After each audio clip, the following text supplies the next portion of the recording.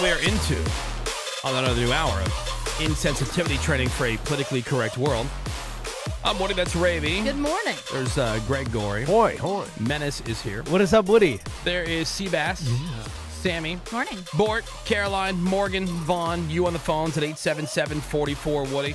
We will uh, open up the phones for a round of Ask the Woody Show. Any question that you've got. Ooh. Doesn't have to be show related. Could be something for someone on the show or just something in general. Maybe you're having a uh, a hard time making a choice today between two different things. Something as silly as you know where to go for lunch, or something as important as should I marry him. Oh, Or real estate investment advice. Anything, Yeah. anything in between.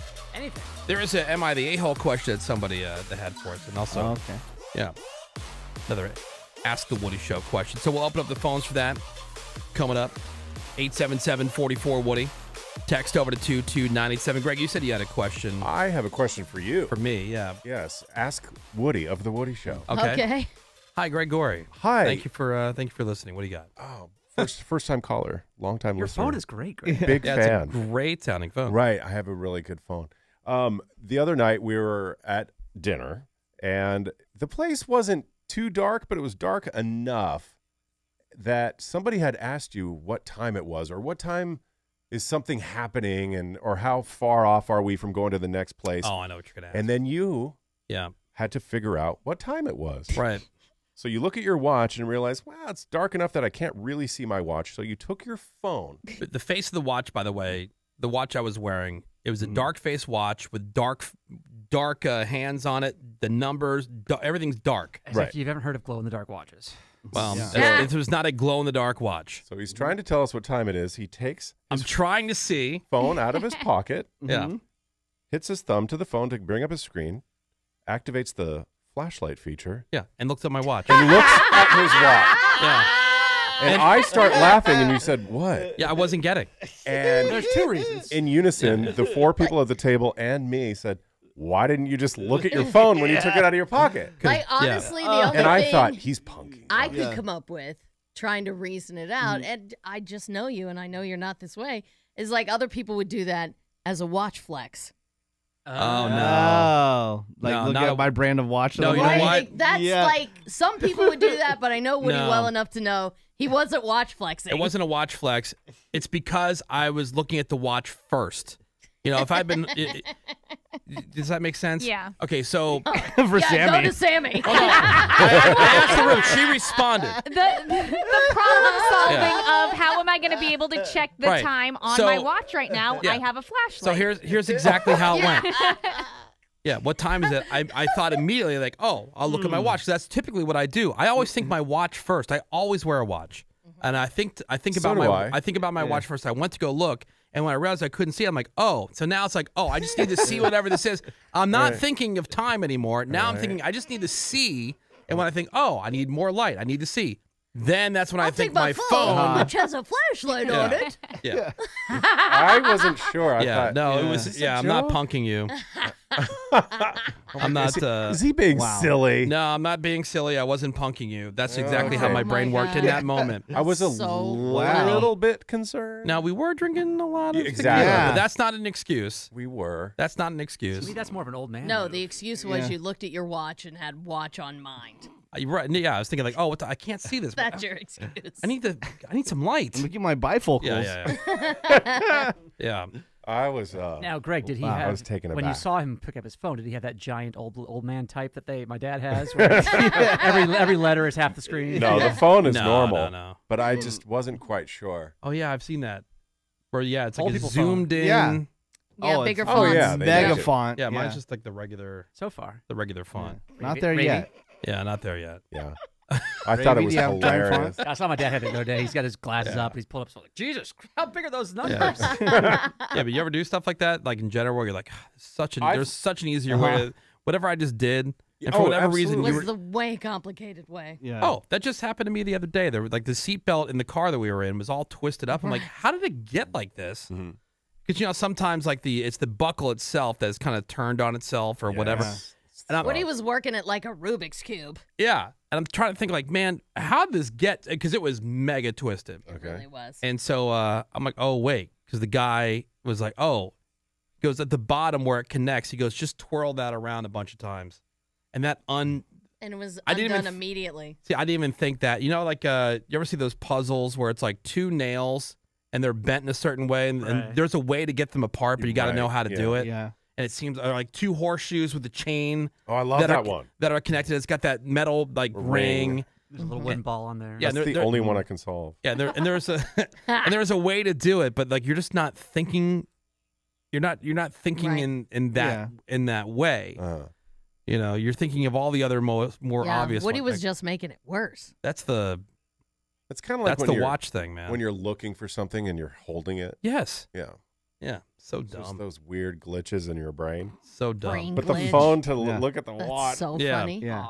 it Idiots. was So funny. funny. How dumb. I did have a follow up. Are you punking us, Greg?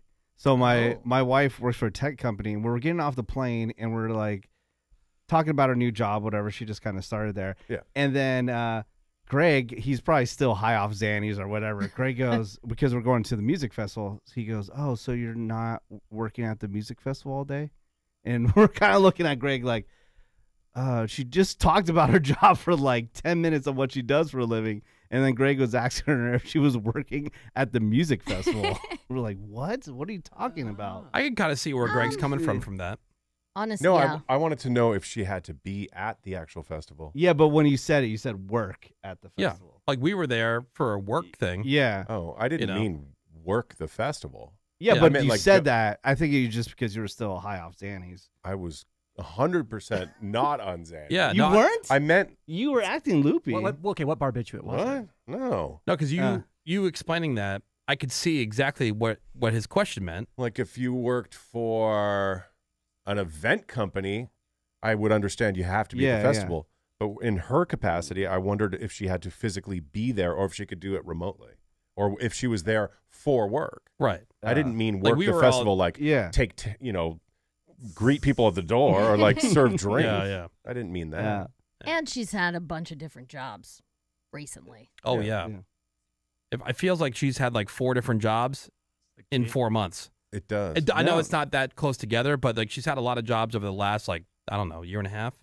No, t- uh, the last job she had for two years. Really? Yeah, Allegedly. two years Interesting. plus. Wow. Yeah, Really? Does, does it seem that way? Uh-uh. No. It doesn't. Uh-uh. I think all the time. I mean, not to blame COVID, but everything. I don't know the times and everything. on- yeah. is so wacky. Uh, let's go right to the phones and say hello to Rebecca. Hey, good morning, Rebecca. Hello, Rebecca. Hello, hello. Good morning, you guys. Good Love morning. you guys. Uh, love you too. All right. So what uh, what's the question? What can we help you with? My question is how do you stop making someone infatuated with you? Oh wow, How do you, bad. how do you get them to not like you anymore? Wait a. Stop being Is that a is that a humble brag? Yeah. hmm Well, all right. So what's what's the situation? Is this like a, a co? Who is this person? Coworker, Friend. It's, neighbor? it's an ex. It's an ex that's Oh, an ex. wanting to reunite. Oh, Oh, okay. Um, Yes. uh, what? So what's He's a what's? nice guy. He's a nice guy. I just, I, you know, when it when it doesn't feel right, you know. But Yeah. I don't want to hurt his feelings. But you broke up with him the first time. I'm assuming. Um, yeah, yeah. Okay. I did. and how long ago was that?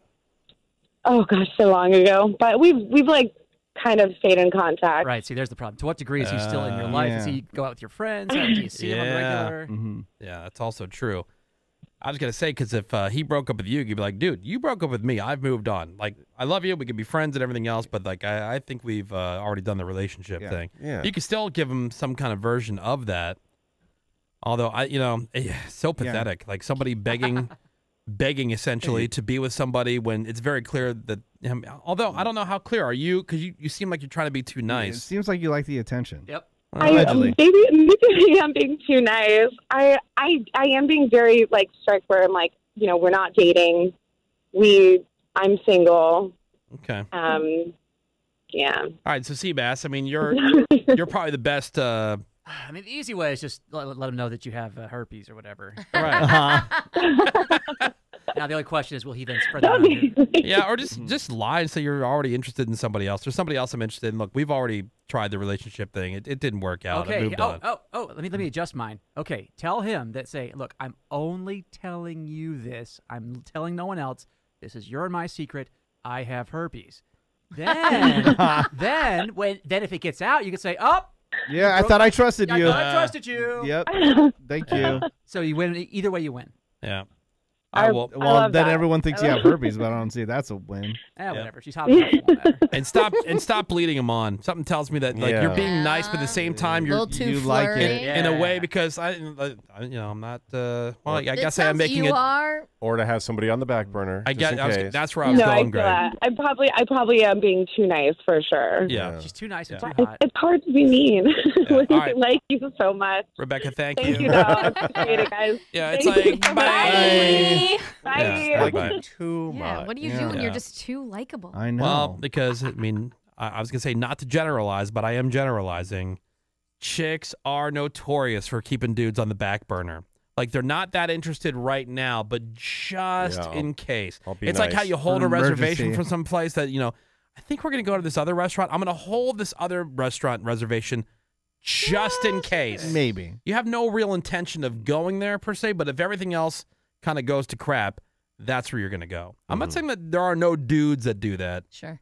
ever, but But a texter said she's breadcrumbing him. but uh, Yes. right, Yes. yeah, There's a like reason but she's, women he's still in his life. Her women life. have Right. way more options than dudes all the time, so they're able to do that back burnering thing. Guys don't have enough uh, supply necessarily to backburner.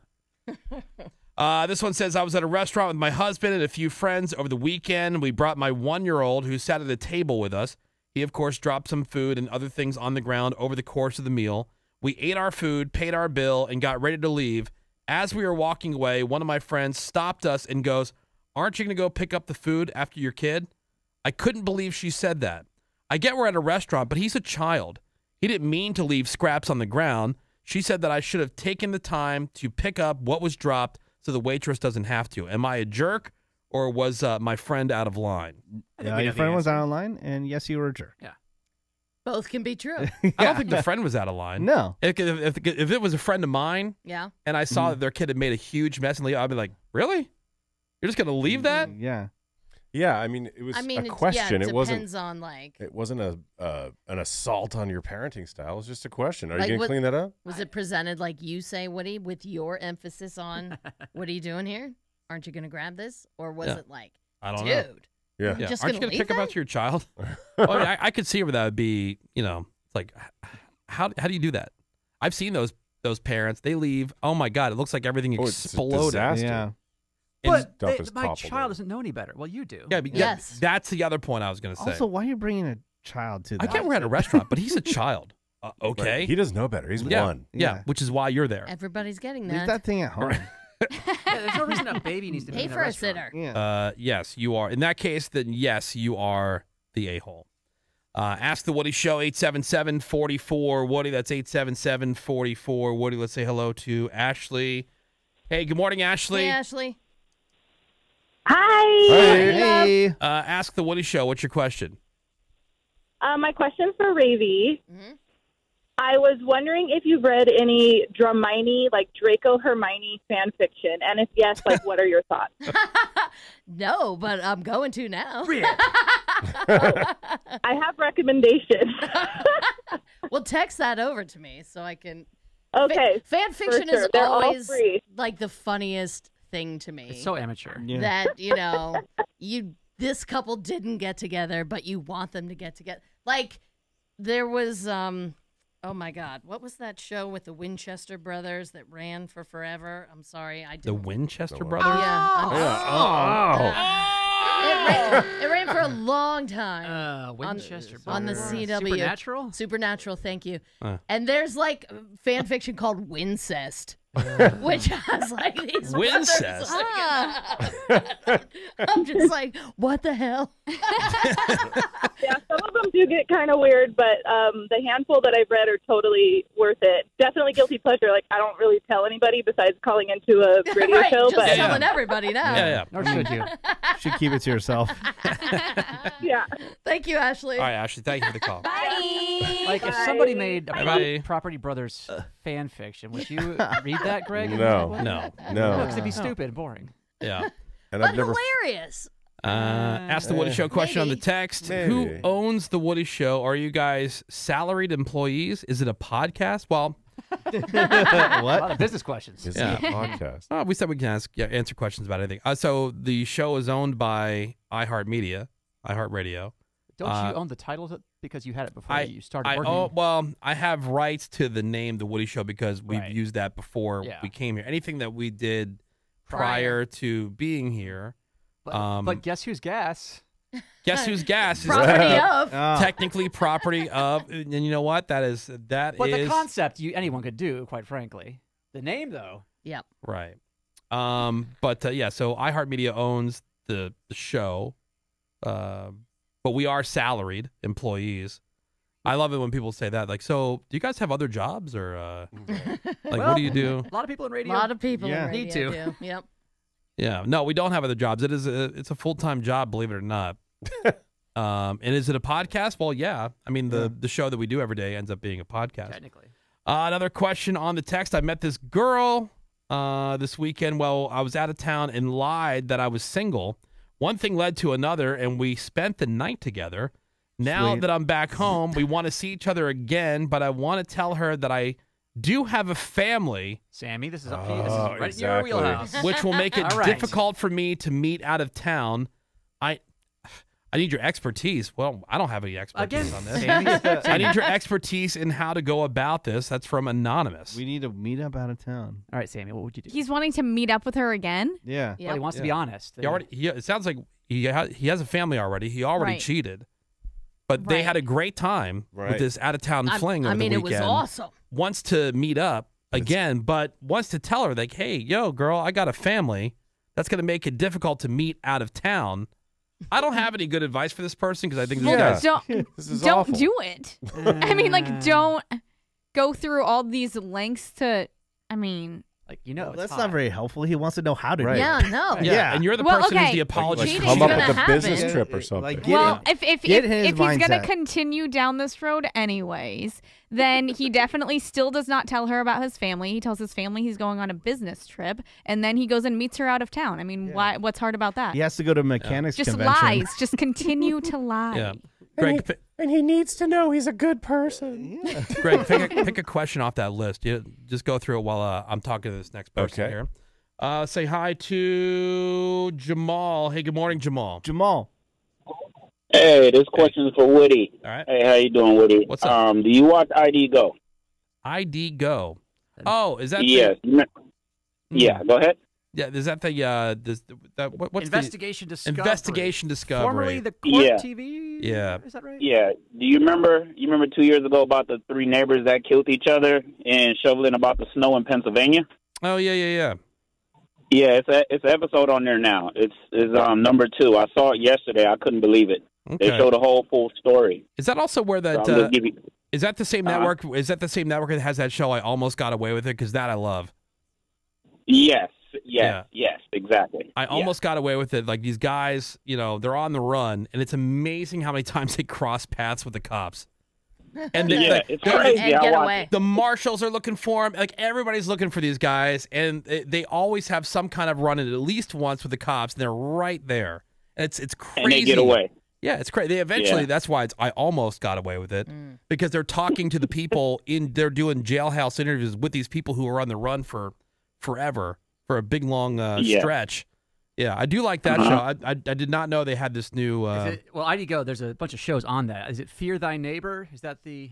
Yeah, because you guys were talking about it about two years ago, and you it was a big thing on the news. And Yeah. then I was saying to myself, they're gonna make an episode about it, and I saw it yesterday, and Yeah. I couldn't believe it. I like I knew they was gonna do that. Oh Yep, yeah, I remember. there it is. Yeah, yeah, yeah. Yeah, I'll, I'll check just that out. give you a heads up on that. If you get Yeah. a chance to check it out, it's real good. No, I appreciate that. Hey, uh, Jamal, thanks for the call, man. Appreciate it.